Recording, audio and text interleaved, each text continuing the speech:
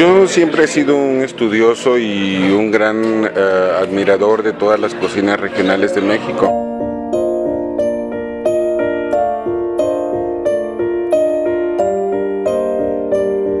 estar en San Cristóbal de las Casas, pues tenía yo que hacer algunas cosas, ¿no? Como la sopa de pan, la sopa de chipilín, y hay muchas cosas que han quedado incorporadas a, otros platillos como para tener esta presencia de San Cristóbal. Por ejemplo, los duraznos prensados, ¿no?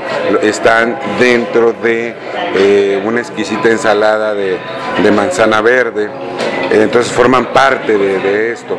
Y por ejemplo el pan de fiesta eh, está dentro del postre que hicimos de los, del vaso de frutas del bosque.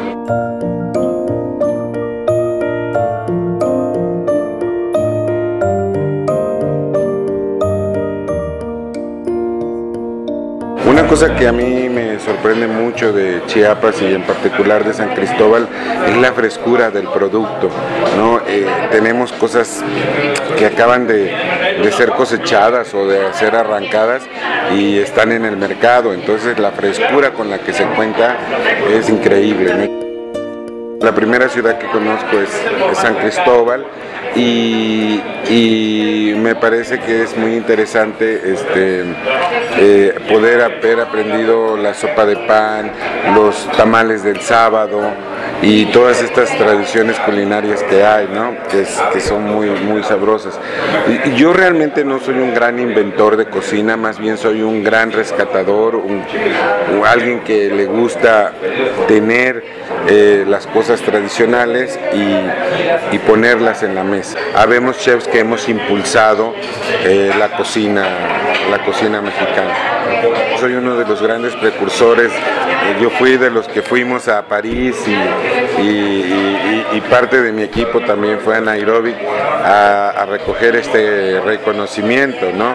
Eh, y mucho tiene que ver la cocina que yo he hecho para que esto se tome en consideración. Los dueños del hotel son una familia de muchas generaciones chiapanecas son, gente que siempre ha sido de aquí y ellos fueron los que buscaron el nombre, ¿no? evidentemente haciéndole homenaje a los idiomas regionales de esta zona. Ellos tenían intención de hacer un buen restaurante de comida mexicana y, entonces este, pues habemos como un catálogo de chefs que hacemos esa cocina mexicana. A mí me lo propusieron, la idea me agradó y aquí estoy.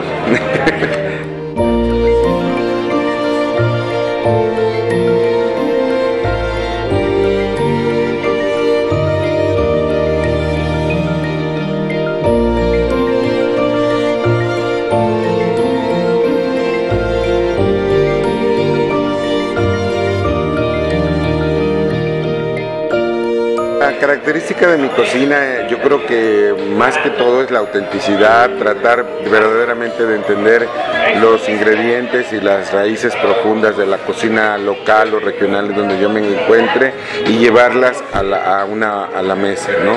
Eso es realmente como mi gran aportación a la cocina.